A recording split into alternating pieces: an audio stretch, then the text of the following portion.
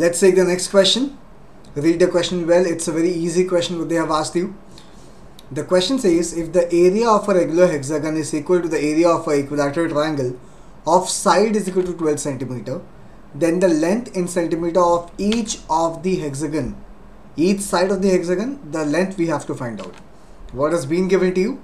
The overall area of this hexagon is equal to the area of this triangle. So one, if, if at all you know the formula for finding the area of the hexagon and equilateral triangle, it's going to be quite easy for you to find out the answer. The area of the hexagon will be given by 6 times root 3 by 4 into a square which basically should be equal to the area of this uh, triangle which is root 3 upon 4 into a square. What is a? a basically is nothing but 12. So root 3 upon 4 into 12 square if you possibly equate them the only thing that we need to find out is to check the value of A which is on the LHS and I'm sure all of you would be able to solve the answer for this question.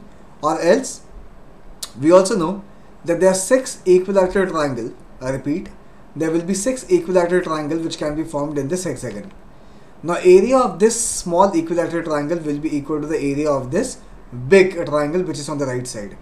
So area of each triangle in this hexagon will basically be one sixth of the area of the bigger triangle on the right hand side so you know the area of a small equilateral triangle will basically be one sixth of the area of the bigger triangle which is on the right hand side.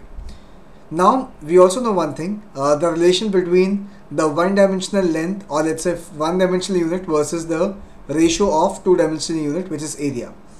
If the ratio of length uh, let's say the triangles or the figures are similar then if one dimensional length of the uh, of two units is in the ratio of a is to b.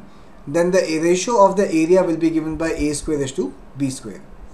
Now the ratio of this small triangle is one sixth to that of the big triangle.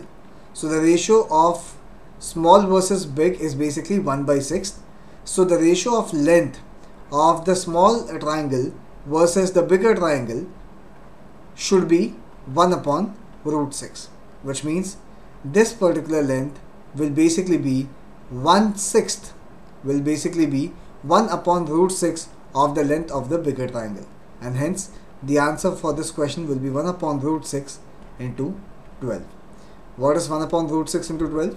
This basically will be 6 into 2 upon root 6 or 2 times root 6 and hence the answer for this question will be option number C which is of 2 root 6. Quite a easy question.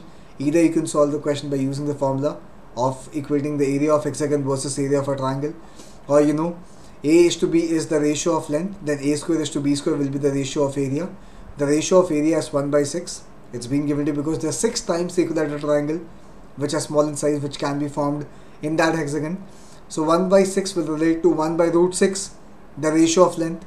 So ratio of bigger triangle equilateral triangle is 12 so the hexagon will be 1 upon root 6 into 12 and hence the answer for this question will be 2 root 6.